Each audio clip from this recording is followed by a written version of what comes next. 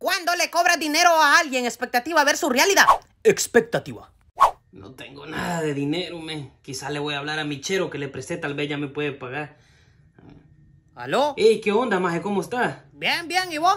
Fíjate que yo te hablaba, maje, para ver si ya tenías una parte del dinero que te había prestado, pues. Sí, fíjate que ya lo reuní todo completo, pero no he tenido tiempo para írtelo a dejar. Si querés te lo dejo mañana ahí en tu casa. Sí, sí, está bien, original. Va pues, gracias, oíste, por la ayuda. Vaya, ya, ya sabes, aquí estamos.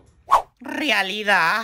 Ya pasaron cinco años que le presté el dinero a mi amigo. Quizás le voy a cobrar.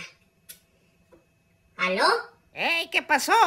Hola, sí, mira, fíjate que yo te llamaba porque ¿te acordás aquella vez? Aquel dinero que te presté.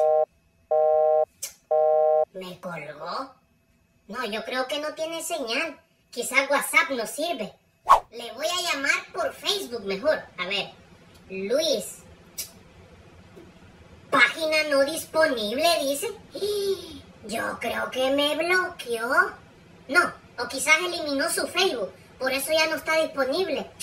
Pero y entonces... Ah, a la mamá le voy a llamar. A ver, niña Chepa, mamá de Luis. Ajá. ¿Aló? ¿Aló, niña Chepa? ¿Sí? ¿Qué quería? Ah, sí, fíjese que yo quería hablar con Luis. ¿Y eso para qué? Ah, es que fíjese que yo quería ver si me iba a pagar un dinero que le presté. Ah, no, no, no. Deje de estar molestando. Mi hijo está ocupado. Niña Chepa, pero yo solo mi dinero quiero.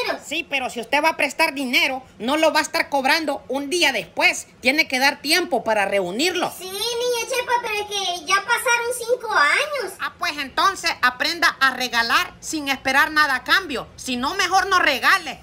Sí, pero es que yo no se lo regalé.